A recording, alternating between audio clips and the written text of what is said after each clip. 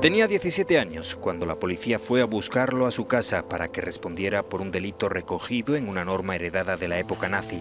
Era homosexual. El caso de Heinz Smith, un nombre ficticio, fue uno más de los alrededor de 50.000 que se dieron en Alemania mientras la ley estuvo en vigor hasta 1969.